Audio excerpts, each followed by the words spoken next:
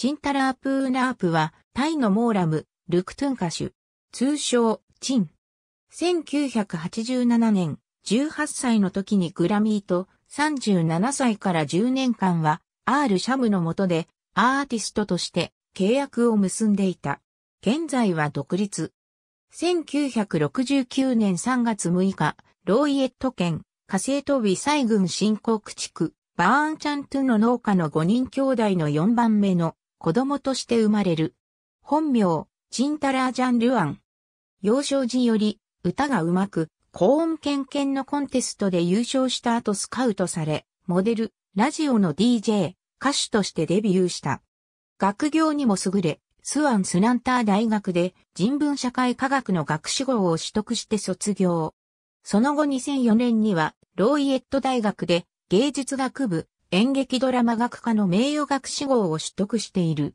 1987年にグラミー社から学校に騙されてでデビュー。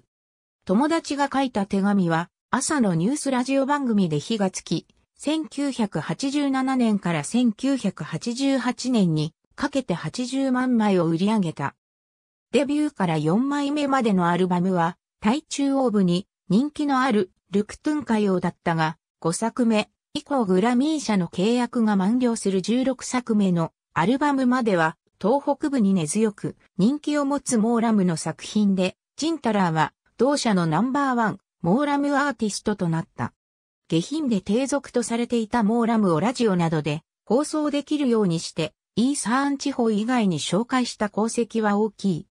それまでモーラムの歌詞は男女が卑猥なセリフを掛け合いで歌うようなものが主流だったが、卑猥でないばかりか、文芸的にも趣のある歌詞で歌った。また、要所にイーサーン語を散りばめた対標準語で歌う作品も発表し、モーラムの普及に貢献した。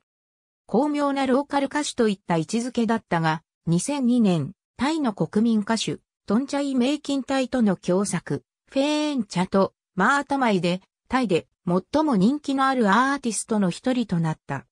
2007年7月、R 社務社と契約を締結。契約は10年間で満了。